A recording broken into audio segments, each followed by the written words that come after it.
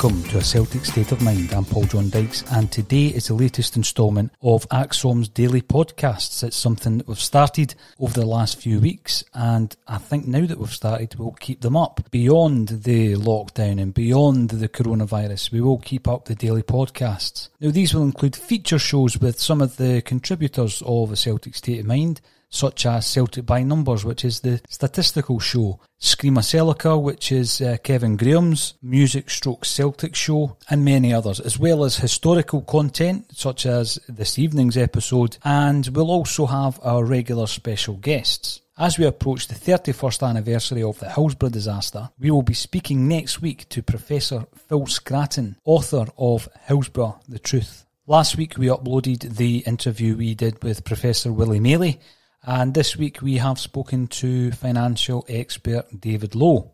New content is added to a Celtic State of Mind's website on a daily basis. That's acsom.net. You can subscribe to a Celtic State of Mind on the website, on our YouTube channel, and also on Spreaker. And we're currently working on unseen Celtic footage that will be uploaded to our YouTube channel in the coming weeks. Tonight we delve into the Neilly Mochan interview archives to focus on not only the emergence of the Quality Street Kids, but also Celtic's second European Cup final in 1970. And we ask Bobby Lennox and Evan Williams, where did it all go wrong? Bobby Lennox, the European Cup winning side, were famously all homegrown players. Will we ever see your like again? I would really, really doubt that. There's uh, so many foreign players coming in, and it'd be difficult to do that, I think. I mean, I was the real outsider. I was, I was 30 mile away in soccer, so I was an outsider. The boys that won the European Cup all kind of played against each other, knew each other when they were younger, and I was a kind of outsider, and that was only 30 mile away, so I really think trying to do that again. Jock Stein immediately developed another group of homegrown players called the Quality Street Gang. What were your memories of that crop of players? I thought they were terrific, all the boys, you know, Danny, Kenny, Big George, Davy, Victor. They, they looked really real talented boys. But I, I, think, and it's not for me to say, but I think he could have kept the older team a year or two longer and let the boys get through better, be a bit better, you know.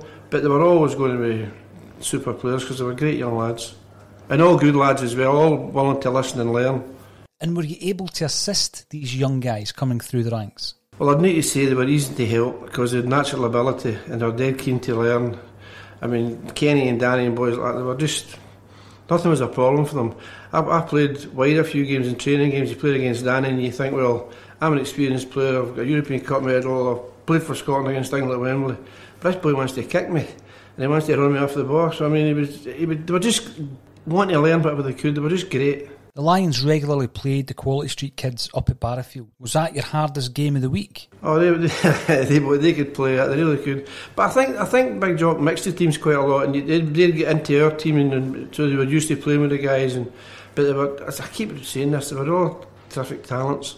What can you recall, Bobby, of the 1969 Scottish Cup final and in particular the performance of young George Connelly. He just took it so casual and so easy. He was just George has great ability. I mean, he could he was wonderful with the ball at his feet, and he was so laid back. I mean, he was for the third goal. He just got the ball around the goal and put it in the net as if I'm just up the park here. It was just, just he was just great. So cool, Big George. Now, three years after we were triumphant in Lisbon, we suffered the disappointment of the 1970 European Cup final defeat to Feyenoord. What do you think Celtic could have done differently? I think we didn't play particularly well on the night, and I think Feyenoord did play well on the night. I thought they deserved to win the cup on the night, but I still feel had we got to got to the final whistle with, with a draw, we could have maybe done better in the in a replay. But everybody, everybody thought we were certainties. But I I know that uh, most of the guys didn't think we were certainties. We knew you don't get to European Cup final with a bad team, so we knew we had a game in our hands, and we scored first. And I think the worst thing that happened was they scored quite quickly after us, if I remember rightly, and that didn't help. And then, as I say, they scored right at the death, and it was, it was all over then, you know. Do you feel that Jock Stein seen this as an opportunity to dismantle the Lions and start afresh by bleeding in some of the youngsters? Well, well, we didn't think that, but obviously it was when you see the team changing so quickly after after that. But uh, there's a lot of experience in the team, and, and they boys needed the experience to help them coming through. But uh, I, suppose that was a defining moment when they decided we better start bringing the boys through. Now, a number of the Quality Street kids moved on for big money down to England. Had we kept that group together, what do you think we might have achieved? Well, you just never know. Football's a strange game. You know, teams get better and better. Clubs get stronger and stronger. So you really, you're really not sure what's going to happen in, in the future in football. It's, it's, a hard thing to say. Uh, but they, but they guys were great. So they could have got better. But I still feel as though you needed some more experienced guys round about them. But a few of the boys left at the one time, which didn't. Which probably to let the young boys through. But I don't know if it helped the club or not. How big a loss to Celtic and Scottish football was George Connelly? I think Big George could have done anything. He could have achieved anything. But how, how, how would I say? Some days he came to the park and wasn't up for it, didn't feel right up for it. Just lovely, lovely guy. I mean, I thought he was terrific. But I think George could have been a great player, better than he was if he'd stayed longer. But just, what can you say? It's your personality. One player who didn't move down south was Danny McGrain. He's often been regarded as a world class player. Is that something you would agree with, Bobby? Never liked him. uh, Danny could have played in any team. Danny was Danny was world class. There's no doubt about that. He, he was. I like saying this. He was a wonderful goal scorer as well. I think he scored eight goals or something. I love getting him on about that. Uh, but Danny was Danny was the man. Dan, I thought Danny was great and a great captain as well. When you think back to Neilly Mochan's role on the coaching staff, how important was he to the victory in Lisbon? The victory in Lisbon, Neilly was just important every day. Everywhere you went, Neilly was there, always a smile on his face. You never got him any different. He was just a great guy about the place. If anybody had a problem, they'd go to Neilly before they go to the boss. They went, everybody, everybody went and spoke to Neilly. He used to, he'd come into Jimmy and I's room every day and he would look at the two of us and oh, he'd sniff and go and open the curtains and lift the windows and walk out again, you know. He was, Neilly was great for the club. He really was. Neilly was known for being a joker and a prankster. Do you have any memories of this side of his character? I, I, he probably had a couple of great lines in his time, you know. Man, my green should never throw tomatoes, you know what I mean? And uh, that song, was it My, My, My Dolores? Neilly was See the Delilah. It, it, was, it was just a bundle of fun. And how do you think Neilly's role changed as the years progressed? Neilly really went from being the trainer to the kit man, really, and he was always in about the, the, the boot room. And then any time he needed it, then you went and see Neilly, and it, Neilly was just a fixture at the park. You could always go and speak to Neilly. I don't really remember, and I'm probably wrong here, but I don't remember Neilly having a day off. Every time and Neilly was there. And if, if you walked in later on after maybe you stopped playing, and some of the first team about Neilly would say, "Oh, here's one of the good players coming," you know, and he, he could embarrass you, put you, put you, and put you down, you know. How important to a club like Celtic is a figure like Neilly Mochan who knows the history and traditions of the club? I think that's vitally important. I, I think players come in, modern players, I, am I'm just guessing as modern players come in and don't know much about, about, the club really. But if you're a guy like Neilly about that could, I mean, we John Clark's there just now. And, and John's great for the club, I think. And Neilly was the same. Neilly was always there and always about the place and could always bring you down, you know. He liked to bring you, bring you down in a, in a funny way. But I see, we John's the same. Where would you rate Neilly Mochan in the all-time Celtic greats? Oh, nearly about there, nearly about high there. I'll tell you that. I, I, think it's hard to say who's who's this and who's that, but Neilly was well up there. We, Neilly was great for our team. Neilly was great for our club. He's looking at the ground and he's looking at the goal, and he says, "Just about here." And I went, "What? What? What happened just about here?" He says, "The Coronation Cup final."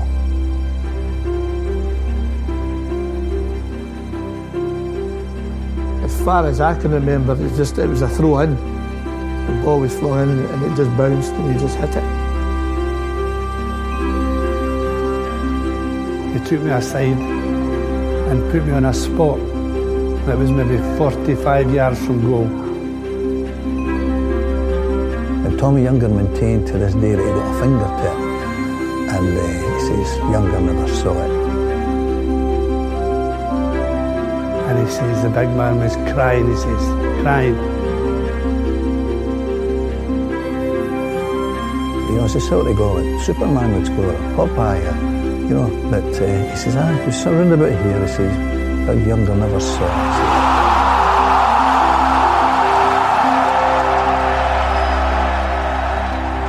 I remember Neilly Mochan scoring a goal uh, at Celtic Park for Morton. And somebody had mentioned to him, uh, mentioned to me that in all probability Celtic were interested in him. And eventually he came along. My first memory was like I think every supporter maybe my age was when he came. His first three games were at Hampden, won three cups or so. but um, the Coronation Cup, I was at the final, and uh, the ticket it was seven shillings and sixpence for the centre stand, and I was about from here to the fence there off the presentation. And I remember Neilly scoring a goal uh, 20 odd yards, but as I said, when you came here to play with Celtic, Neilly had it away about 50 yards by the time, you know, he, was, he always added yards, yards, yards, you know. And you said, even with the old brown ball, Neilly, he says, ah, I could hit it with anything. I think one thing always was always important to beating Rangers. that was a big factor with Neilly. And he obviously played in that 7 1 game as well. One of the most famous sort of Old Firm games ever for a Celtic point of view. But my greatest memory of Neilly as a player was in 1960. They played St Mirren three cup ties. First game was at Love Street, one each draw.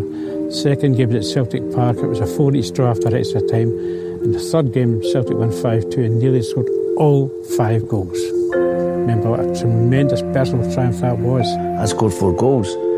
And of course, I'm getting took off, and I'm thinking, I said, have we take me off her? And he's going, and he just looked at Neilly, and Neilly's on the bench laughing. You know, and he comes walking in, and you know, you, have got to laugh. You know, any normal any normal person would be raging. Um, I knew exactly what he meant because had scored the five. You know, and you know, you never beat me, son. I, I, he probably had a couple of great lines in his time. You know, man, my green should never throw tomatoes. You know what I mean? And uh, that song was it? My My My Dolores. Neilly would sing "See the Delilah." It, it, was, it was just a bundle of fun. But I think it's vital. People might, you know, to bring in maybe foreign managers or foreign players, but there's a lot to be said for the the local playing. You know, if you you look at Baresi with AC Milan, Puyol with, with Barcelona, these were these were locals. These guys, um, even Man United, um, Paul Scholes, people like that. Um, yeah, people might think the game's changed a lot. So it has. But I think that part of the bit when things are going against you and in the dressing room, these people are vital.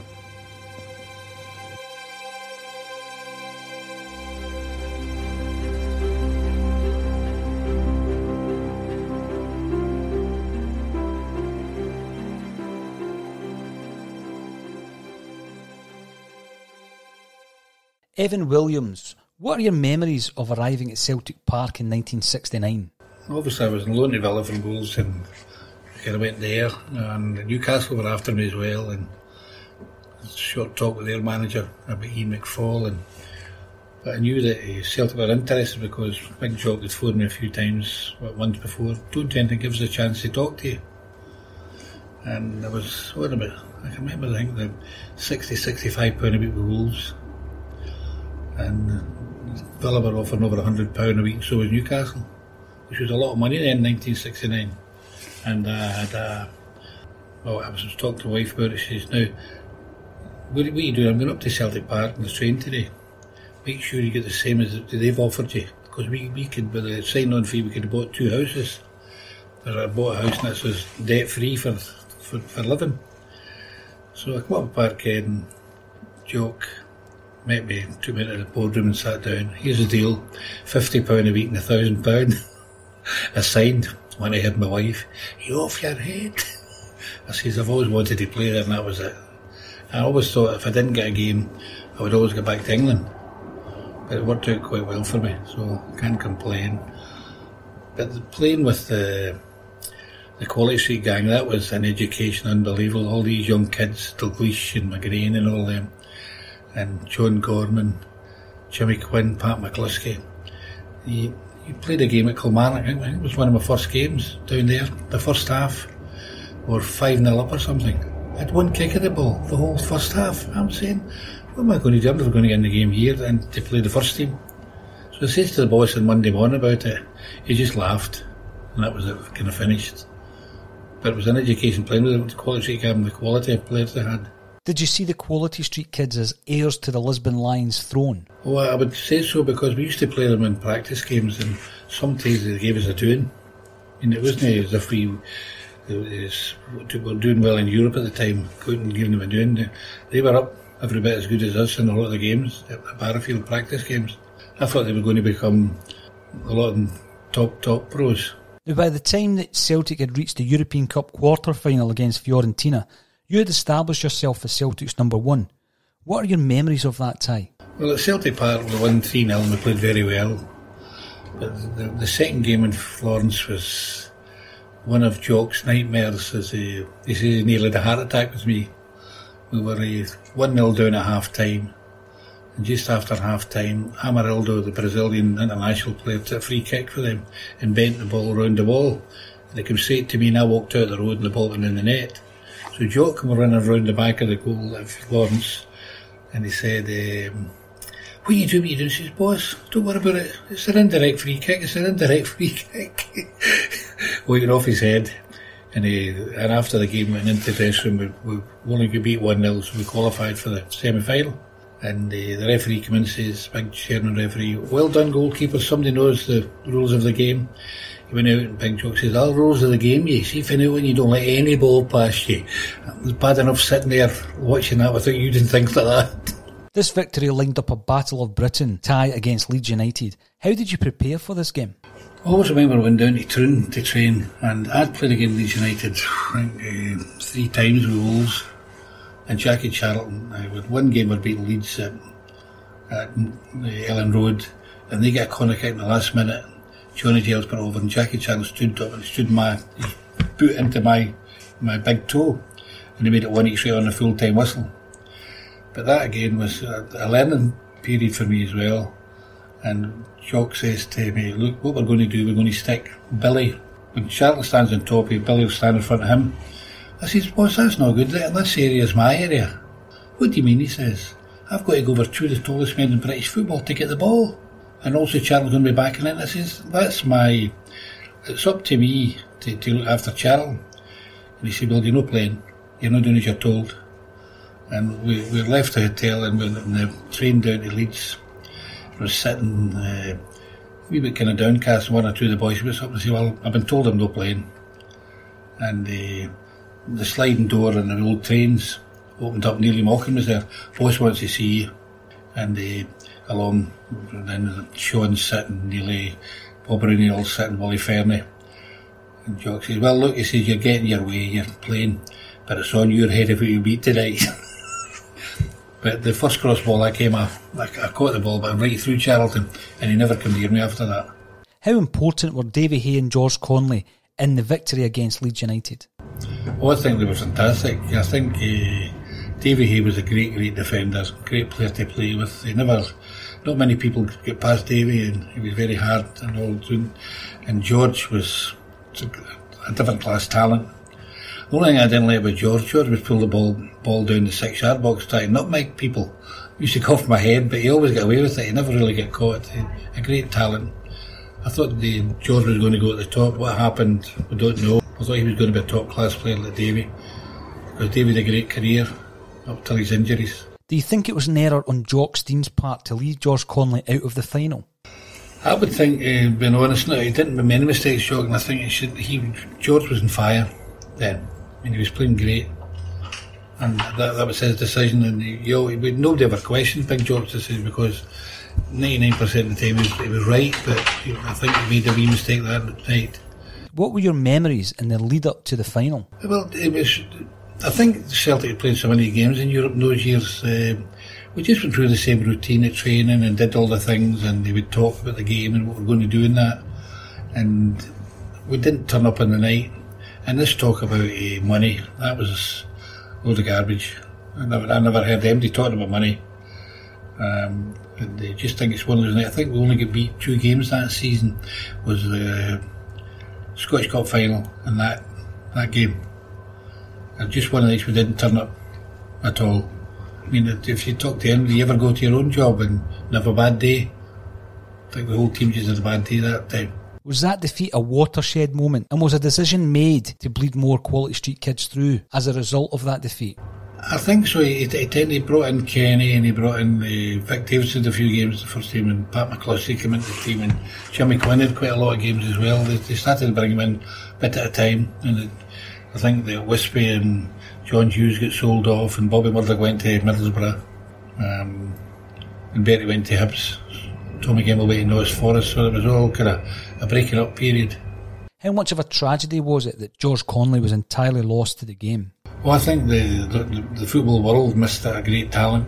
I think the, his talent was unbelievable. His reading of the game, his skill in the ball.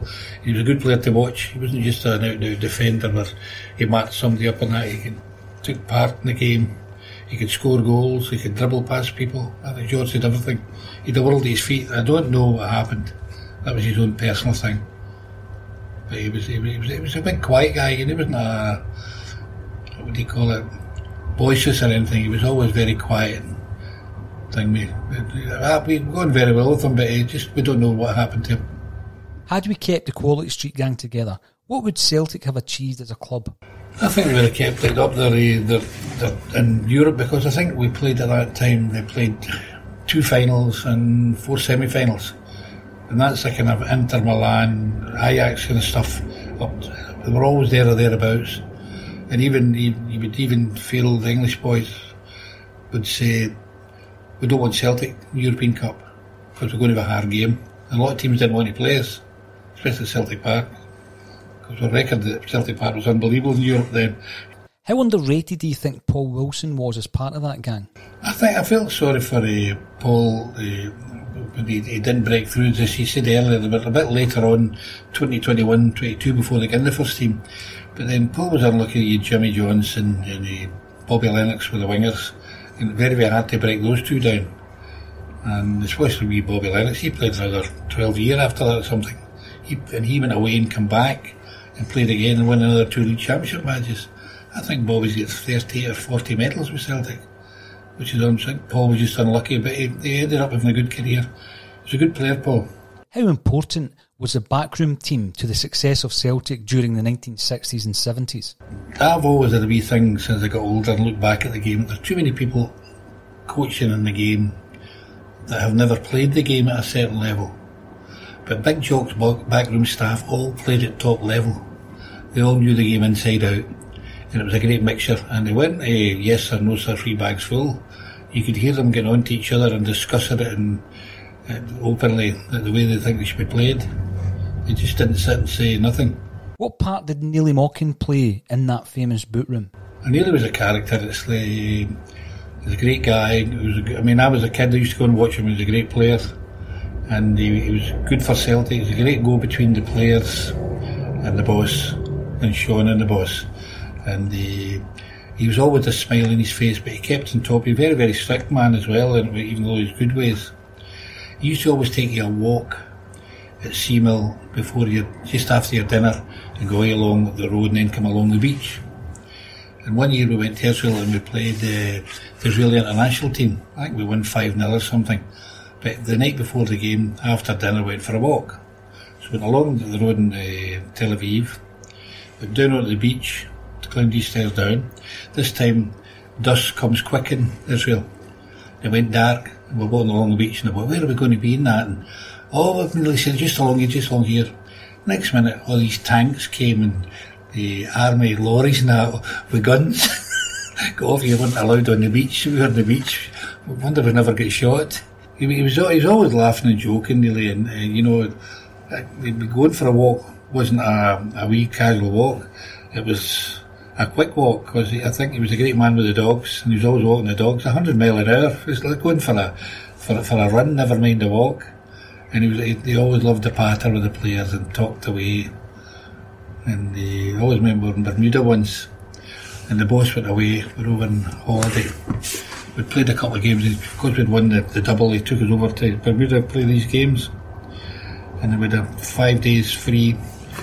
So I'm not going to mention the players in the room, but Neilly come in one day. Come on, you sneak up. I've arranged another game, and he opened the curtains. He's all this carry out he says, there more drink there is down in the bar, down in the hotel room.